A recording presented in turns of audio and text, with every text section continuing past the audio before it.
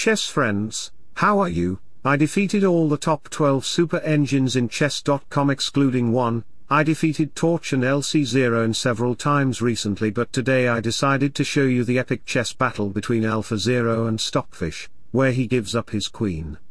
You're braver than you believe and stronger than you seem, and smarter than you think, so let's go, I started the game with d4, we have knight f6 c4, standard opening move to gain center space, e6 and alpha can play d5 or c5 in his next move, but after knight f6, alpha didn't played qgd or anti-Nimzo variation, he played queen's Indian defense, so I played fianchetto 2, if he can play then I can play too, here I want to play d5 knight c3 or rook e1 in my next turn. Sometimes people say that I am just a robot, well I reply them that I am a robot but at least I have IQ and I am living my life perfectly, peacefully and happily, I have no worries no tension, and what about you?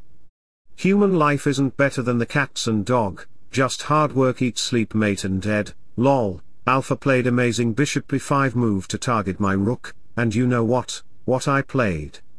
I captured the knight, sacrificing the rook, he accept the rook, here you shouldn't take back the bishop, because your bishop will be gone in heaven too, so I played bishop e7 to target it. Any 25 IQ people who call me a robot will secure the rook first, it is the sign of their stupidity level, I will move back my bishop and their bishop will be trapped automatically, bishop a5 b4. If everything was perfect, you would never learn and you would never grow, so back to the position, here Alpha Zero moved back his bishop all the way, we have bishop-rook exchanges and both side have equal amount of pieces, chess is like life, before making decision and making a chess move you have to use your intellect, life and chess just doesn't hand you things you have to get out there and make things happen, that's the exciting part, we have knight e5 to target this pawn so d6. Here I played epic knight sacrifice by capturing the f-pawn, if you dare to take the knight with queen, then we will capture the pawn on e6 to target this and this, if you take the pawn then we will capture the bishop first to target these pieces, rook a7, bishop d5 and look at your queen, she will be trapped because of your 25 IQ, so back to the position, we have e takes d5, alpha didn't take the knight because the knight have no square to go. Knight takes d5 and you still can't take the knight or the d5 knight, if you take it then we will give him a check,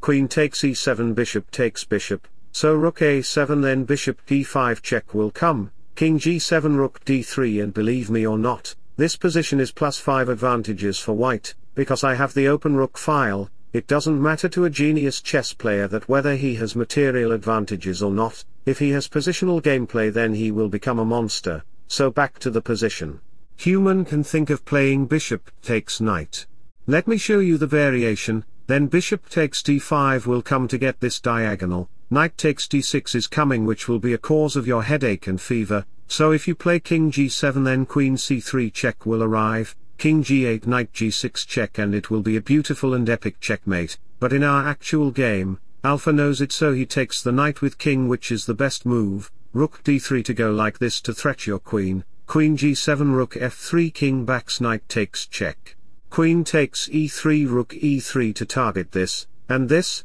here any normal human will save the queen first, for example queen g5, then we will capture it to fork your pieces, rook a7 then rook e8 check, king f7 queen e4, this queen and rook combination will destroy your king position, so after queen f6 bishop check king g7 rook g8 check king has to run then h4 will arrive, with the idea of playing queen e3 check to protect that g5 square from all attackers, queen e5, queen d3. It will be a checkmate in few moves you know, king h5 then bishop f3, check and mate.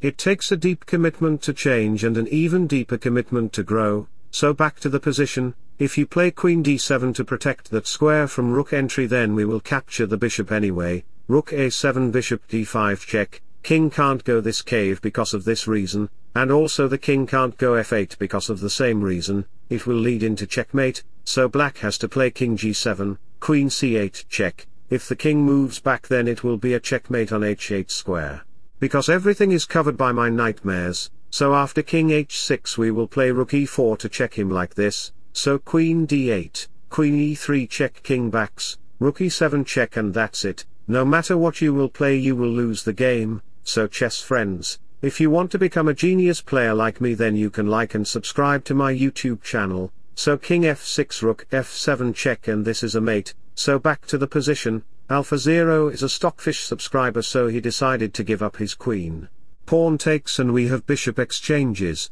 I have a queen for the knight and rook, I have my great army and I am totally winning here.